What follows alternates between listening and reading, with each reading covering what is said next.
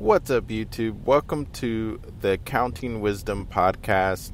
You know, um, today is uh, June 20th, 2023, um, and I just wanted to make a helpful, another helpful video about, uh, or podcast about what the Bible says about money. Um, and hopefully, this will be helpful uh, to anyone out there in thinking about uh, what does the Bible say about money and our jobs. Before I get started, hey, go ahead and hit that subscribe button. Uh, subscribe to this channel where you'll get more helpful resources out there. Uh, on and you can also go to my website. Um, there, I can you can also donate to the ministry. Um, you can donate, help me make videos. Um, uh, I do have someone that I use to edit videos, and I also edit videos myself. But um, when I can, I can use that editor to make videos as well. And so, um, if you feel like you want to help out this channel, um, you can go to my page uh, website and donate, and you'll see a link to my website if you go to my channel page on YouTube. So, um, what does the Bible say about money? You know, um, I just finished a book that I recommend, um, and really, this book is called Everything the Bible Has to Say About Money. And, um, you know, this book is by Lynn Johnson and um, basically in this book he kind of goes through and gives pretty much every bible verse that the bible says about money you know uh, any bible verse that has to do with money. And so i wanted to kind of hone down on some of what this book has to say and some of what most pastors will have to say. So one of the first things I think that um, if you are looking to um, have more of a secure uh, life and lifestyle in regards to money, maybe if you're short on money, um, I think a universal thing that one of the things that the Bible brings out and that pastors would bring out is giving. And I want to touch on specifically giving to the church and tithing and giving to uh, poor people. And so, um, Proverbs says that he who gives to the poor will not lack. And so, um, I would take that verse seriously if I were you and I would, you know, make it your aim to do something for the poor. And I guess God sees that as, hey, if you are continuously giving to the poor, God will give to you. And it's kind of an exchange that happens. And so I think that verse, you know, applies to us today. We're going to talk about what Jesus had to say. But let's go to tithing. You know, tithing is a debated topic in Scripture. But, you know, I was convinced on tithing um, from a sermon that I heard by Pastor Alan Nolan.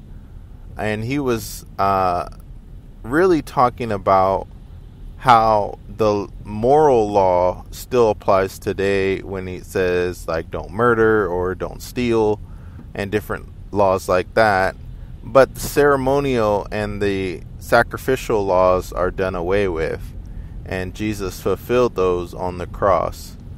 And then he kind of put a twist on tithing and he said how it falls under the moral law which I don't necessarily have the um, ability to get into on this podcast, but I think you should highly recommend. I highly recommend doing research on tithing.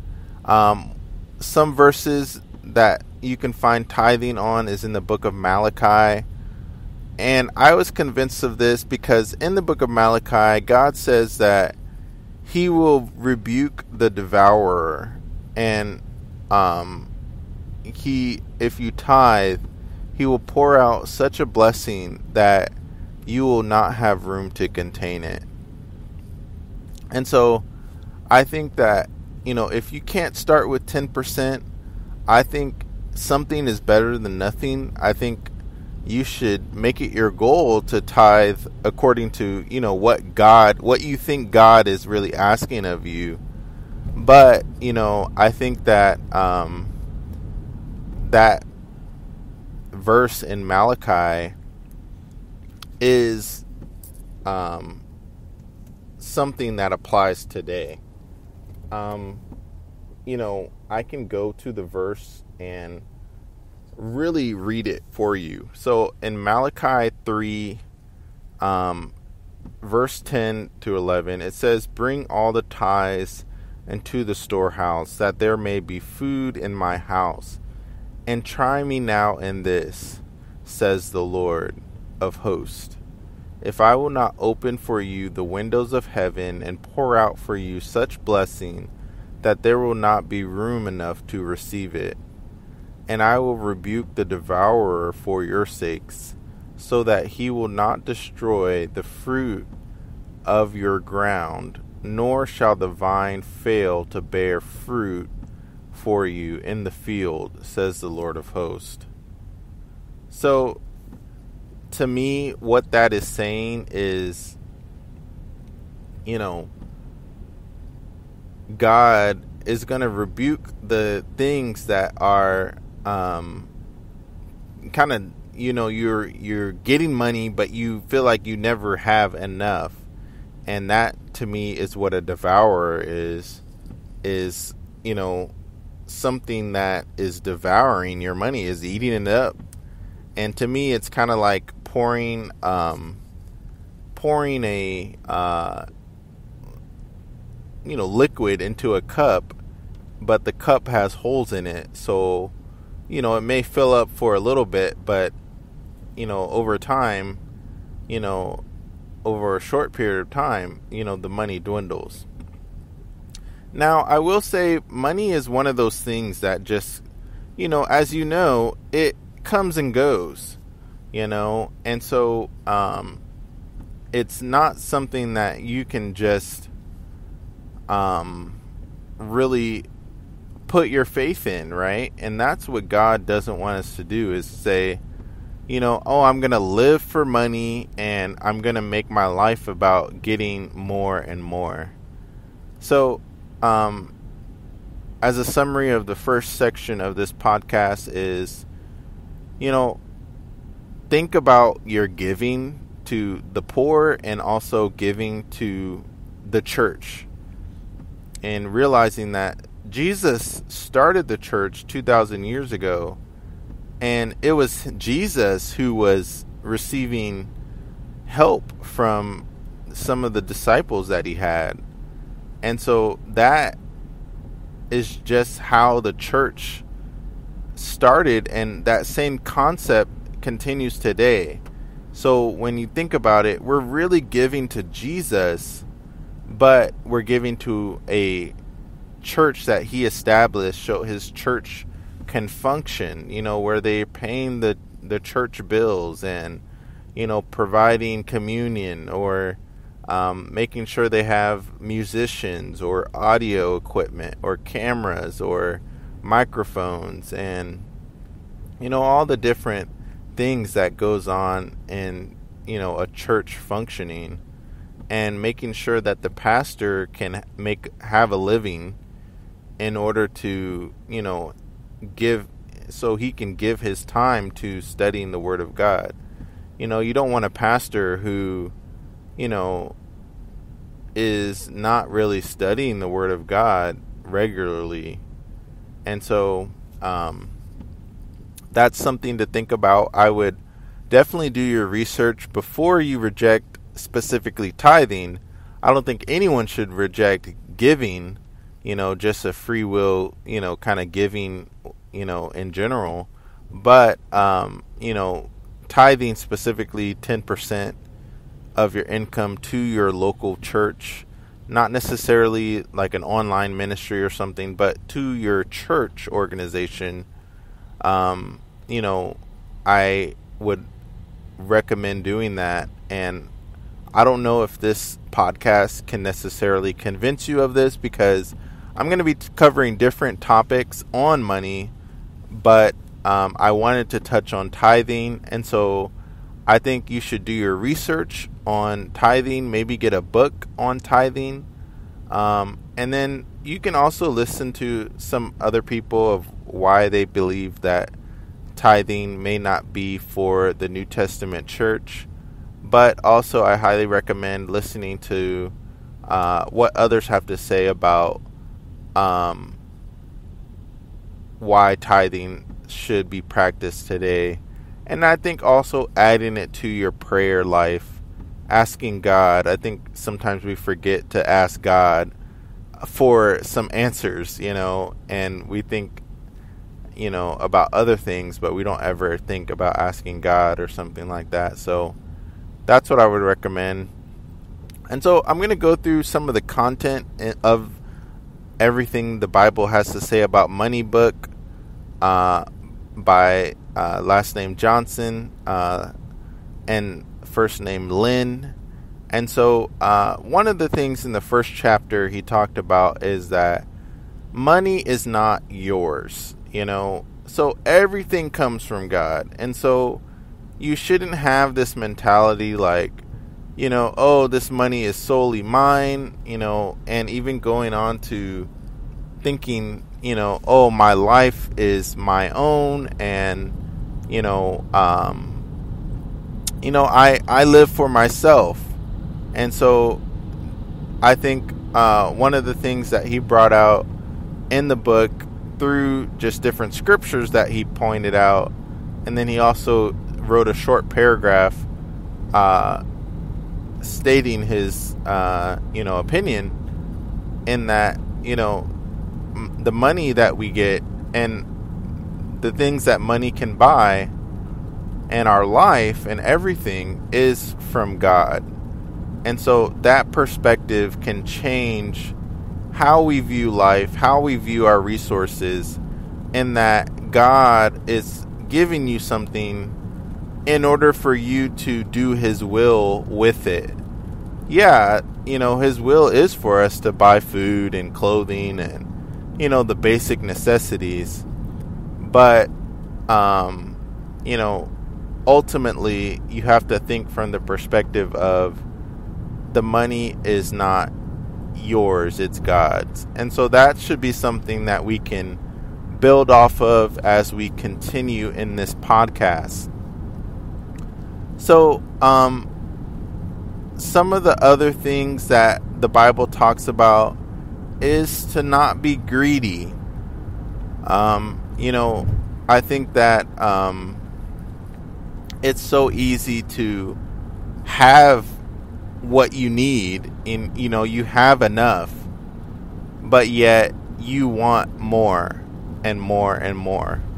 And so that is what greed is. It's like you're you're over uh over expecting you're overly wanting more. And sorry that was kind of a bad sentence structure there but you're wanting more and more than you need and so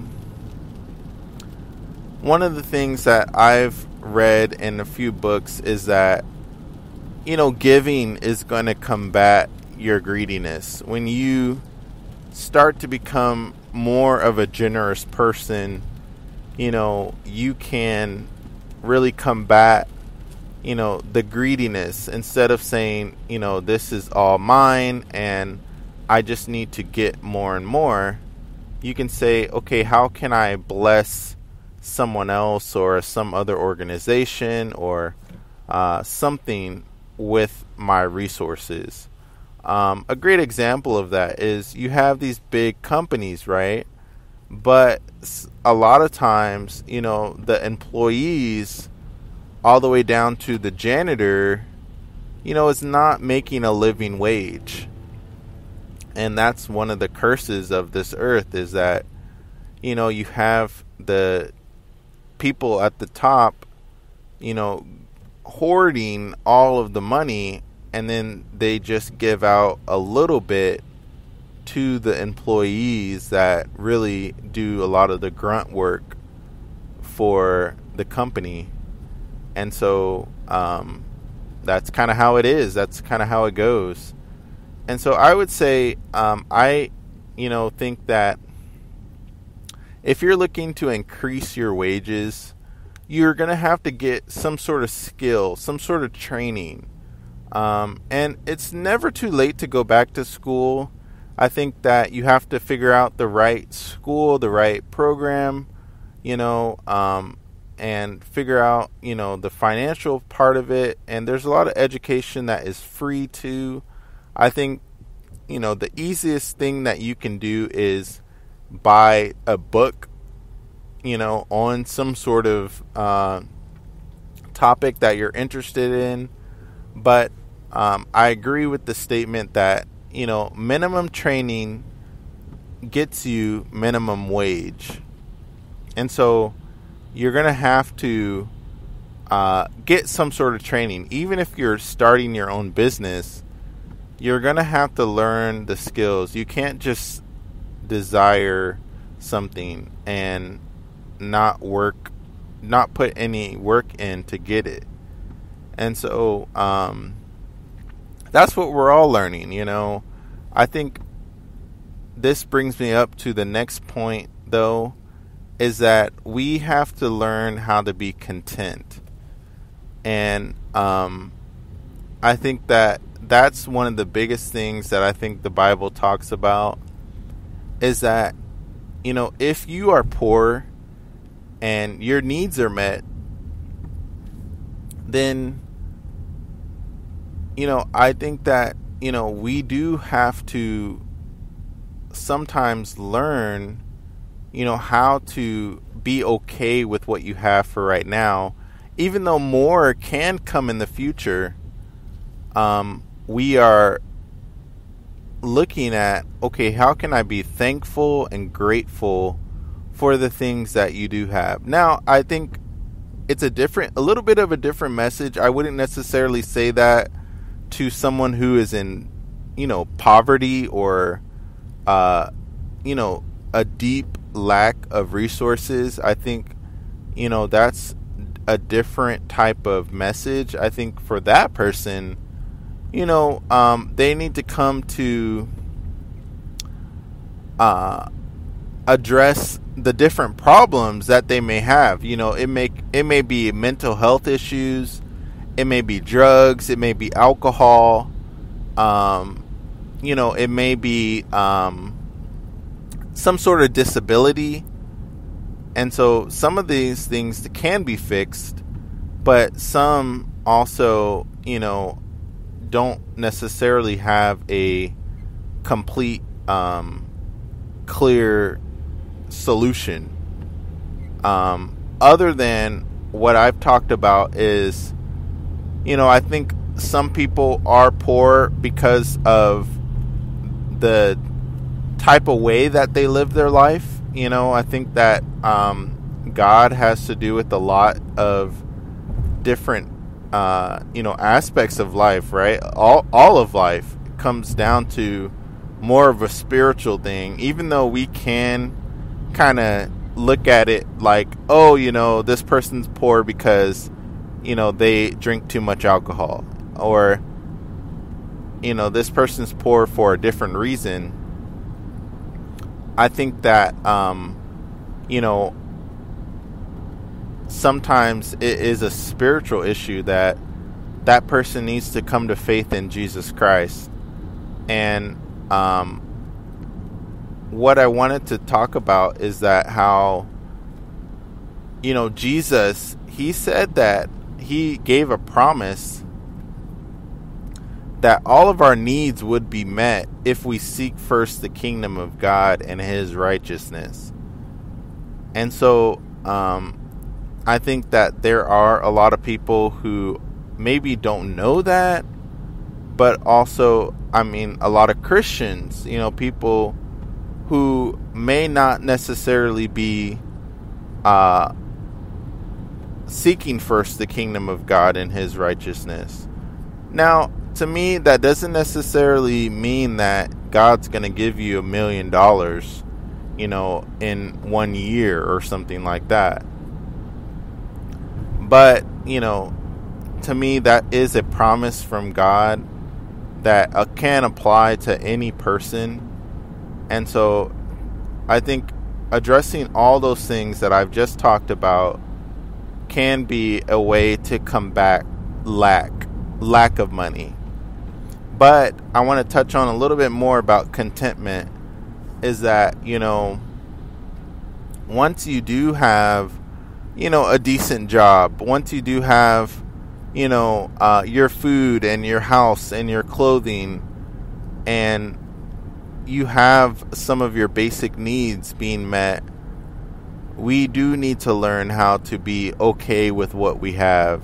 And that, you know, contentment is the opposite of greediness, where, you know, you're not working extra long hours because you're trying to make an extra buck now, yeah, you know, I don't think the Bible is against pulling a 10 hour shift or something like that.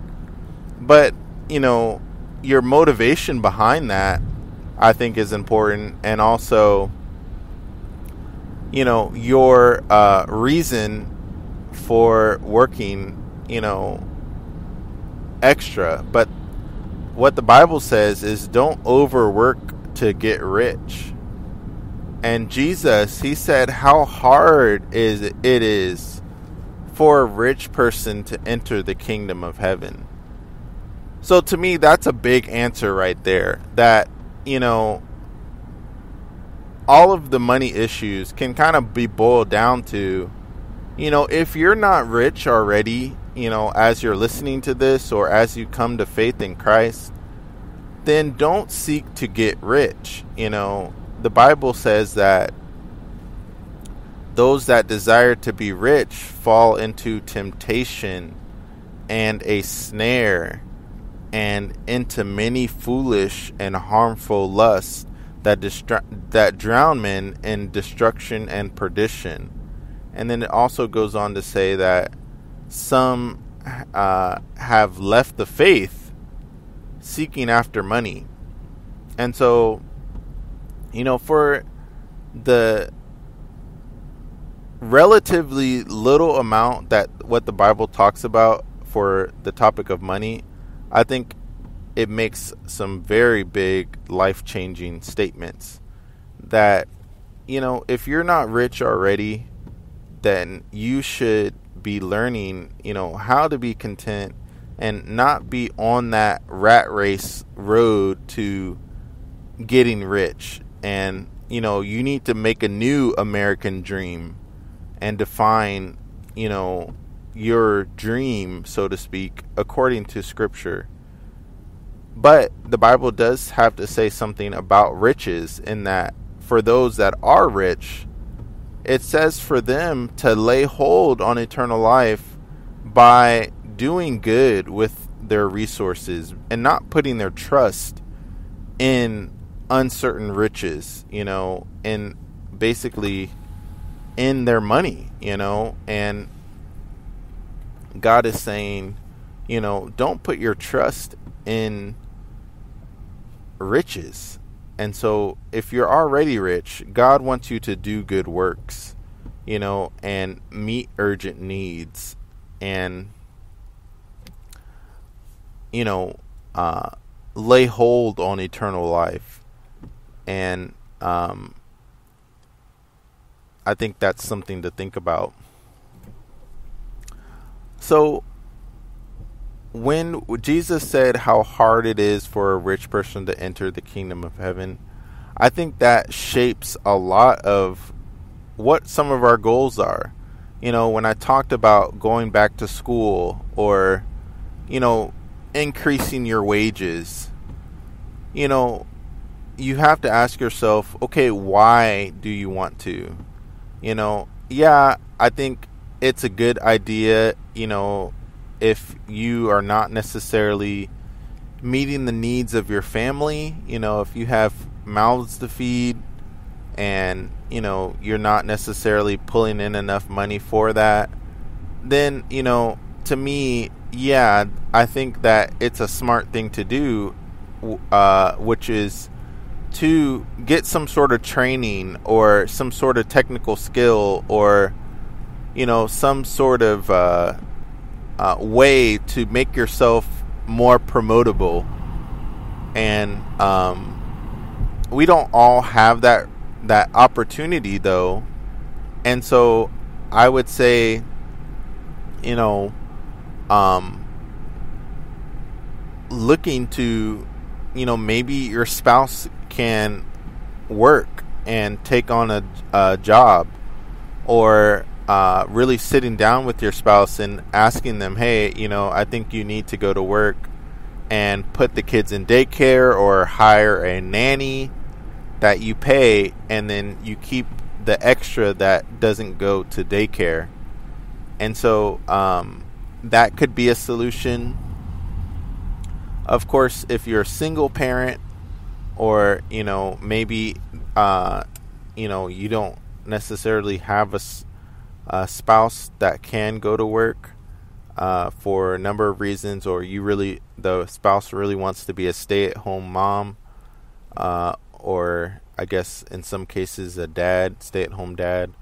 Um, you know, I think looking into ways to uh, grow in in the career that you're in. You know, I think sometimes uh, there are promotions when you stay at a company for a long period of time that um, you know your wages do increase, and I think looking at how you can manage your resources better, which is like budgeting and saying no to things and you know, uh, cutting back on certain things that you uh, maybe tempted at getting, you know, getting rid of your credit cards and, you know, paying off debts and looking at strategies of how people have gotten out of debt. But like I said, I think you should look into money management through the lens of, you know, what Jesus said, which was how hard it is for a rich person to enter the kingdom of heaven. To me, riches in America is something above eighty or hundred thousand dollars a year. You know, I think poverty in America is you're making twenty thousand dollars a year or less. Um, and I think if you have a family making twenty thousand dollars a year, you know, I don't think you should be bothered by the verse that says to be content with what you have as you try to pursue a better career.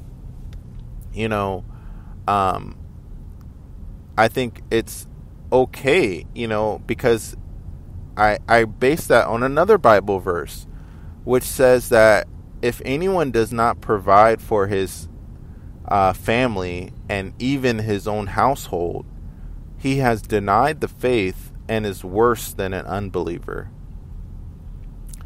And so Paul said himself that he worked day and night that he may not be dependent on anyone. And so to me what that says is that you know, you should be looking for the best opportunity and I don't think you should stress about it too much though that you know, um, you shouldn't necessarily quit your job and you know try to pursue some other career because another thing that the Bible says is that you know you shouldn't produce you shouldn't pursue worthless pursuits. So things that you are that are worthless pursuits. You know, when you're listening to someone that says, you know, oh, you know, buy my class and you can learn how to work three days a week and make, you know, a hundred thousand dollars a month. you know, that is something that is just going to waste your time and that you know, when I look when you look at the top richest people in the world, it's really 1% of the world, you know? It's a small percentage of people. You know, I think the percentage, I don't know the number, but it's a big number of people that live on $3,000 a year, not a month, a year.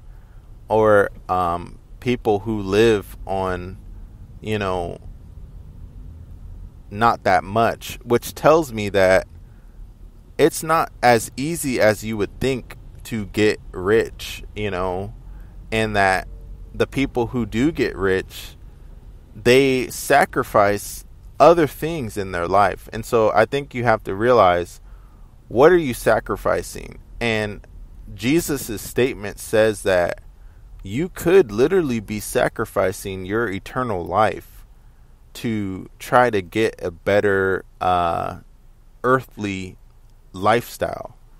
You know, but like I said, you know, um, I think that Jesus is for, you know, uh, providing for us, and God is going and can provide for uh, the average person, you know, that comes to Jesus Christ.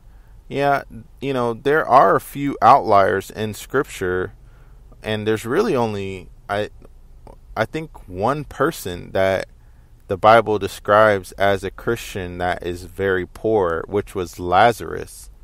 Um, you know, Jesus was poor too, but scripture describes the rich man and Lazarus. Lazarus was a beggar on the street, and there's not really any other scriptures of you know, someone really poor, other than maybe the widow uh, in uh, uh, the Book of Kings, where she poured all this oil in jars and she kept pouring oil in jars. And, you know, uh, she is described as poor. Um, and then Jesus also talked about another widow who gave all she had to uh, the church, or really it was the synagogue, uh, and Jesus said that she gave more than a rich person because she gave all she had. And so there are a few people who are poor in scripture that the Bible brings out. And so, um, as a summary, you know, I've given you a few scriptures. I think some of the biggest things that I see the Bible saying is that one, we have to work. You know, we have to work, and um, I think two is that we should try to do our best to learn money management skills. You know, um, I think that getting wisdom is something that the book of Proverbs brings out. Uh, there's a few scriptures that I think you can look up in Proverbs about money um, but you know, working definitely is something important, and I think the one other thing that I wanted to bring out before I go on to the other points as the summary is that you know the Bible seems to describe some sort of increase that God will give you as you live biblically in a biblical way in regards to money and then in regards to the rest of your life um, as you live a godly life and a life devoted to Jesus Christ, you know, the Bible seems to describe an increase. And I get that from the book of Deuteronomy, which says that God is the one that gives you power to make a living. Or some translations say to get wealth. And so um, it was a promise that was given to Israel in a way. I I count it as a promise that you know um, you're going to increase, and and Moses was saying that hey, as you increase, you know, don't forget the Lord your God, and you know in the Proverbs chapter thirty, you know um, Agur Agor, I think that's how you say his name, but in Proverbs chapter thirty, he was saying to God, you know, God, give me neither neither poverty nor riches. You know, cuz he said that if he's rich, he'll say, "Who is the Lord?" meaning he he's not going to serve any serve God anymore because he's rich and he doesn't need God. But also he's saying, "Hey God, don't give me poverty either." because you know then I will be tempted to sin in the way that I try to get money and you know I'll steal. And so um, those are some points that I wanted to make is that as you continue with God, I believe that there is some sort of increase that you can expect.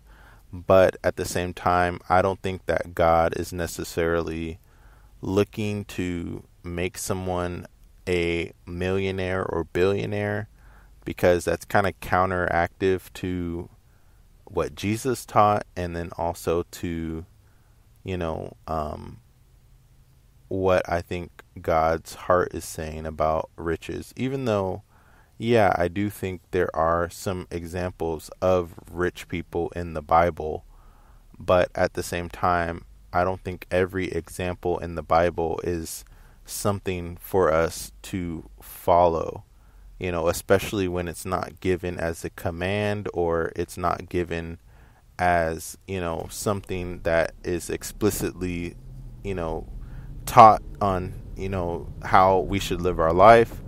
I think the Bible just describes Abraham and Job and Solomon and maybe even David, even though David considered himself poor uh, you know, I think a lot of the times before he actually became king, you know, he was not necessarily rich. Um, and so,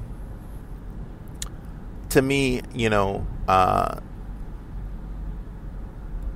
that is something that I can say along the lines of just, um, you know, I think there are examples of rich people in the Bible but I know that there is an example of a rich man from the parable of Jesus who ended up going to hell. And there's actually two parables of a rich man who one said, I'm going to break down my barns and build bigger barns. And, you know, God said to him, Hey, this very night your life will be taken from you. And then who will get all your possessions? And there's actually another story of a rich man where uh, Jesus invited him to become a disciple, and he said, Go and sell all that you have and give to the poor. And the rich man went away sad. And so, in those examples, you see that riches, uh, you know, three examples of riches uh, deterring some, deter, uh, turning someone away from um, eternal life, which is actually a crazy thing to think about. You know, to be eternally separated from God and to realize that, you know, you chose money or you chose your sin instead of following after Jesus Christ, where you can have live for all of eternity and you can see God and live with God, but also you know he's going to take care of you and and it's going to be so fun and so joyful and you know to give that up i don't know if it's just such a simple answer from people. You know i think people have some different re- different reasons why they reject you know a life for god but still you know from the inside looking out you know you can see that you know, a lot of those choices are not good. And so, you know, I would be very cautious as you pursue whatever you're going to pursue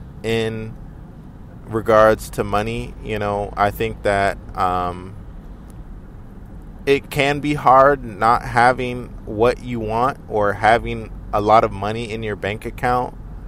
Um, it can be hard, but at the same time, you know, I think that we have to make sure that our priorities are right as we pursue a better life. And I don't think God is against us, you know, bettering our life and living a life profitable to the Lord. but at the same time, you know, we have to put a lot of these pursuits into the right perspective. And, um, you know, I think if you do get rich or you get a higher salary, I think definitely you need to check, you know, how you're living your life, you know, and how you're prioritizing your money. You know, are you just taking on more debt?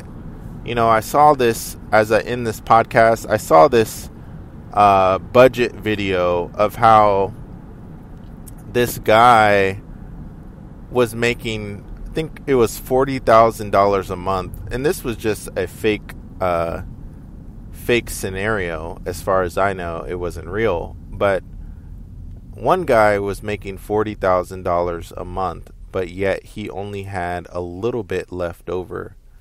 And another guy was making $4,000 a month, but he was saving his money and he had his bills paid and he wasn't taking on more debt and more and more uh, you know uh, bills.